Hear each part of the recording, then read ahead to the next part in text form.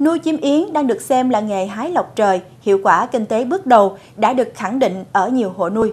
Để nghề nuôi chim yến phát triển và đảm bảo an toàn môi trường dịch bệnh, người nuôi chim yến phải tìm hiểu thật kỹ mọi thông tin liên quan trước khi đến với nghề. Bên cạnh đó là sự hỗ trợ từ chính quyền địa phương về chính sách, về vốn và đầu ra cho sản phẩm trong xu thế phát triển bền vững. Chị Trần Ngọc Thảo, ấp Lai Khê, huyện Bầu Bàng, hiện đang sở hữu một căn nhà yến mới xây, chưa đầy 4 năm nhưng đã cho thu hoạch với nguồn thu nhập ổn định. Công việc này thì nó phù hợp với ờ, mình tại vì vừa có thể mà ờ, cơm nước cho gia đình, vừa có thời gian để đưa đón con nhỏ đi học rồi ờ, mà nó được mang lại cái, cái kinh tế nữa. Thì bình quân nhà yến của em là 3 năm rưỡi chưa đầy 4 năm nhưng mà cái thu nhập thì bình quân tháng ờ, có thể là 9 từ 9 đến 10 triệu. Ý nó sẽ tăng theo cái ờ, mỗi năm á. Ờ, doanh thu mình nó cũng sẽ tăng theo mỗi năm. Khác với chị Thảo, gia đình anh chị Nguyễn Văn Thường và chị Bùi Thị Vĩnh đến với nghề yến với nhiều kinh nghiệm học hỏi trước đó từ các chuyên gia nuôi yến có tiếng trong nghề. Họ là một trong số những gia đình đầu tiên nuôi yến tại đây. Từ một nhà yến đến nay gia đình anh chị đã có cơ ngơi với hơn 10 căn nhà yến được xây tại Bầu Bàng, Bình Phước và Lâm Đồng. Chỉ tính riêng, các nhà yến được nuôi tại Lai Hưng, hàng tháng gia đình anh chị thu về hơn 15 kg yến thô. Mỗi năm cơ sở đạt hơn 1 tỷ đồng lợi nhuận từ nghề yến, góp phần tạo công ăn việc làm cho nhiều chị em phụ nữ tại địa phương.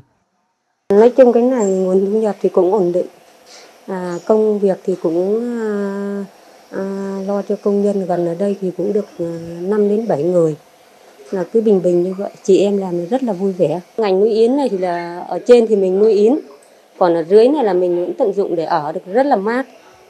Là nó hợp lý được cả hai bên vừa thu nhập được ờ, cho à, gia đình và lại vừa ở được rất là mát.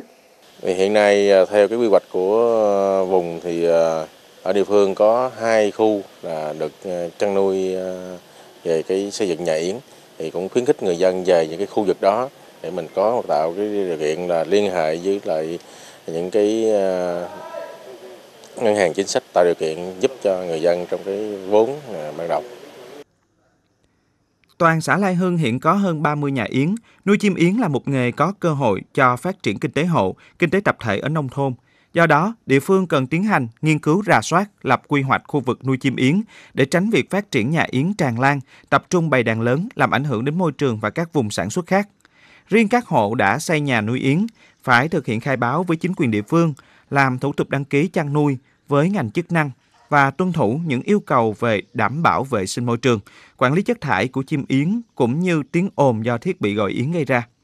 Tránh ảnh hưởng tới các hộ dân sinh sống xung quanh, góp phần vào sự phát triển kinh tế xã hội bền vững của địa phương.